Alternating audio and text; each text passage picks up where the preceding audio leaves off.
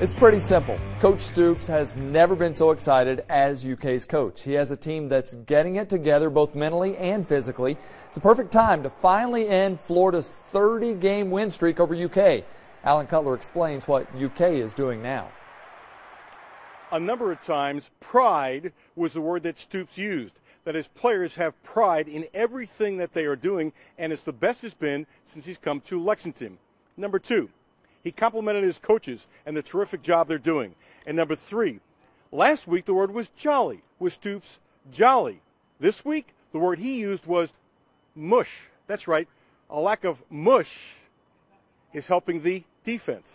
I don't know if I ever thought I'd say this, but Kentucky is playing great defense against the run, giving up less than 60 yards a game. The tackling is so much better perhaps the most improved part of this team that no one is talking about.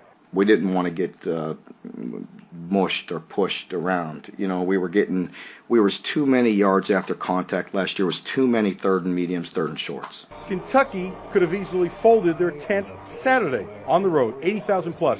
Awful start. The turnaround was all mental because they now can do it physically. We've been there before.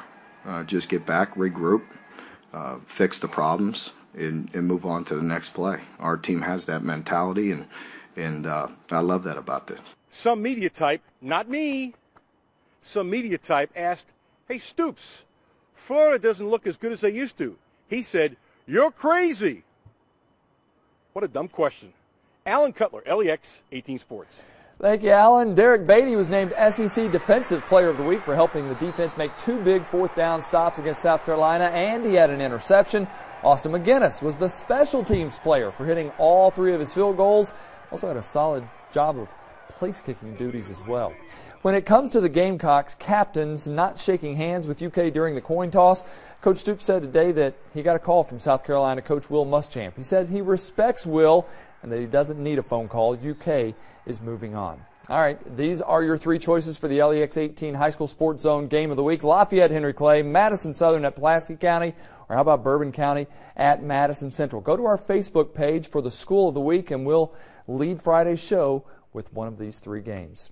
Now, the UK men's basketball team held Media Day today at the Joe Craft practice facility, posing for posters, uh, media guides, magazine pictures, all that taking place. You get to see the Wildcats in their uniforms, new numbers, and how they have transformed their bodies in this short time they've been on campus. The season begins with Big Blue Madness on October 13th. LEX 18 News. We'll be right back.